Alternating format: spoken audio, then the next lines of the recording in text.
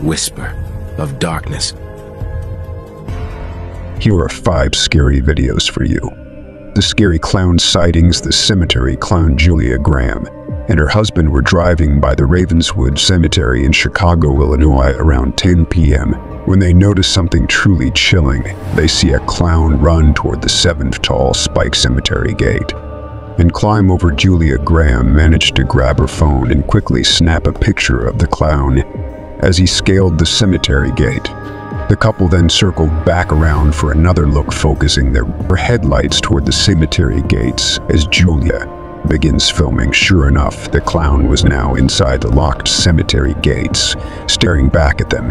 He slowly wave at them as Julia films. Suddenly, without warning, the clown turns and runs off into the darkness of the closed cemetery workers at the Ravenswood Cemetery.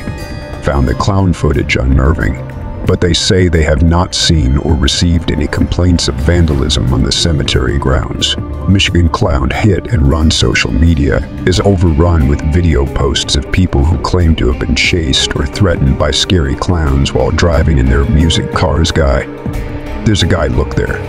Holy God, one of the most common comments on these videos goes something along the lines of, hey, if that was me, I would just run over that clown well in one video. A group of teens in Michigan supposedly has an encounter with a scary clown, and they do just that they run over the clown when he attacks their car. Hey, what are you doing? D shot the Idaho F. Jacksonville clowns, believe it or not. The creepy clown phenomenon is nothing new. In fact, no list of creepy clown sightings would be complete without mentioning the Jacksonville clowns a series of strange clown sightings that occurred in a neighborhood in Jacksonville, Florida two years ago. Around this same time of year, the Jacksonville clowns would approach private homes late into the night, entering the security gates, and seemingly aware that they were being recorded by the house's security. System the clowns would either simply stand watching the house form for the camera or actually make threatening gestures toward the security camera sometimes even destroying Halloween decorations. Although the multiple acts of trespassing and vandalism were reported to police, no arrests were made to this day. No one knows the identity of the Jacksonville clowns. The Sparks clown group of friends in Sparks, Nevada were on the way to the store when one of them spotted what appeared to be a clown near the Reed High School softball fields. Yeah, he was just right here.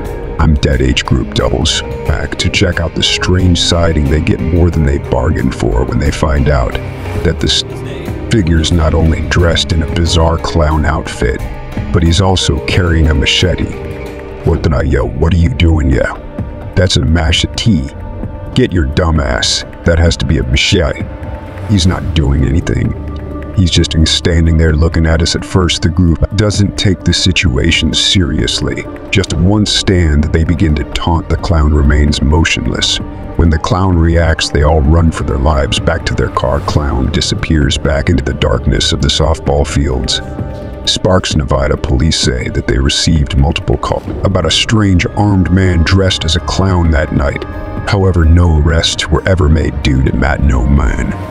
North Signage Wise and Ding Dong Ditch Clown, there have been a rash of creepy clown sightings in the Topeka area sometime in the middle of the night. A couple in Topeka, Kansas is startled awake by someone ringing their doorbell. Doorbell only rings once, so they assume the late night interruption must just be some local kids playing a prank. They don't go to the door, however, the next day when the couple reviews their front door surveillance footage. They are terrified by what they find the footage reveals a strange disheveled clown staring aimlessly at their doorway. While holding a machete in his hands, clown rings the doorbell. Then seems to either run away or possibly hide outside the doorway. Mentioned previously, the couple never answered the door, but it leaves one to wonder just what might have happened if they had answered the door that night